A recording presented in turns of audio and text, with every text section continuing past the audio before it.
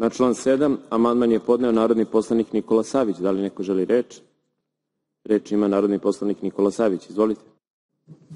Dame i gospodo narodni poslanici, podneo sam amandman na član 7 predloga ovoga zakona i ono što želim da kažem je da Beograd nije samo glavni grad onih ljudi koji žive u njemu, dakle Beograđana, nego je Beograd glavni grad i svih nas koji živimo u ostalim delovima Srbije i jednako smo ponosni na taj grad, tako da a, tu mislim da nema dileme kod nijednog čoveka.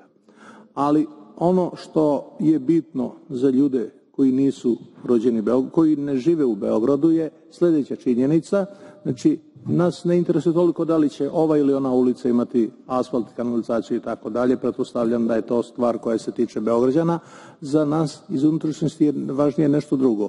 Ovoga trenutka mi imamo situaciju da se ne zna da li Beograd ima ili nema železničku stanicu, vidimo da će uskoro biti izmeštena i autobuska stanica zbog izgradnje Beograda na vodi. Naravno, nema ja ništa protiv toga što se gradi Beograd na vodi, čak mislim da je to jedna dobra investicija, bez obzira koliko ovaj, e, ovi iz nekih stranaka koji su ranije vladali Beogradom to napadaju, ali e, znam da ljudi recimo imaju problem koji putuju vozom iz unutrašnjosti, iz Niša, sa juga Srbije, iz drugih delova, jednostavno bukvalno su sad oni odsečeni, e, odsečeni od svih komunikacija i ne mogu da putuju vozom.